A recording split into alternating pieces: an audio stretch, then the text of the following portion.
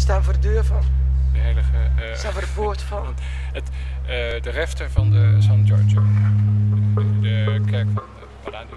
En de refter, dat is de, de- waar de monniken de maaltijden eet. En dat zie je ook bij de Veronezen hier.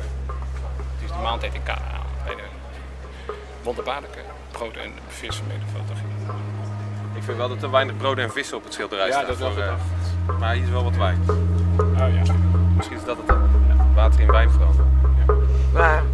ja. Daar. Oh ja, water en wijn, dat is de truc ook. Ja. Want die andere vermenigvuldiging die was geloof ik op een... eh, Een vissersboot. Nee, ja, nee, gewoon in de grote ruimte. Het stond allemaal buiten ook. Ja. Water en wijn veranderd waarschijnlijk. Zoeken we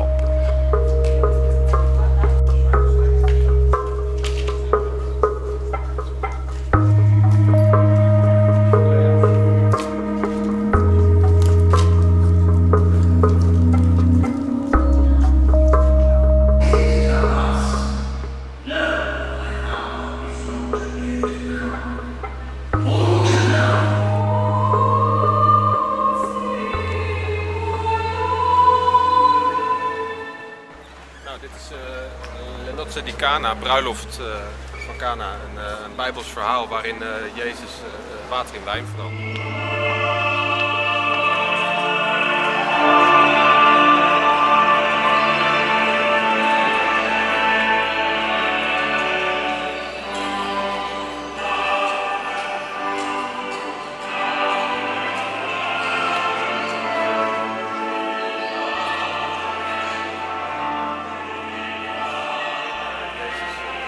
Verandert. Pieter heeft een schilderij van Veronese ehm, eigenlijk met nieuw media weer tot leven gebracht. Dus hij vertelt een, een, eh, hij maakt alle personages in het schilderij brengt hij tot leven. Hij, hij voegt dialogen toe, hij interpreteert wat er gaande is en, eh, en, en door middel van eh, een aantal projecties op het doek, wat trouwens een reproductie is van het doek wat eigenlijk in Parijs hangt. ehm, ehm, eh, bre- ja, creëert hij eigenlijk een soort nieuwe laag, eh, een nieuwe verhalenlaag over dat schilderij heen. En eh, ja, probeert er weer een soort hedendaagse relevantie te geven.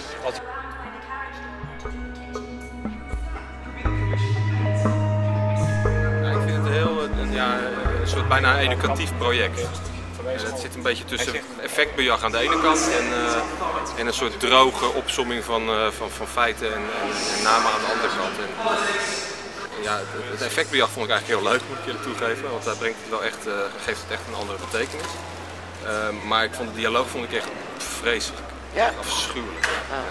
Dat is echt niet eh, een soort van lullige verhaaltjes over allemaal vinnige mensen die zitten te zeuren over het eten tegen elkaar. Dat het niet genoeg is en dat het niet lekker is en dat het een gierige man is. En het heeft eigenlijk een heel negatief beeld van, eh, van, die, van die bruiloft.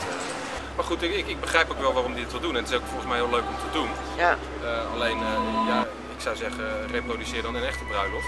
En, neem dan die geluiden op, zodat het wat, wat spontaner is. Want nu was het allemaal zo eh, verzonnen. En, eh, oh, en het brood en het vlees en de kip. En eh, het, het was eigenlijk een soort raar boodschappenlijstje wat werd opgenoemd. Ja. Maar goed, los daarvan, de, waar hij dat even loslaat en wat abstracter wordt en, en, en er een bliksem toevoegt, en ja, dan, dan wordt het opeens wel heel gek. Dan denk je van het mag eigenlijk niet, maar hij doet het gewoon toch. En het is ook Ja. lekker om het te doen. En het is ook stiekem best lekker om het te zien. Ja. Dus ja, half geslaagd. zeg maar.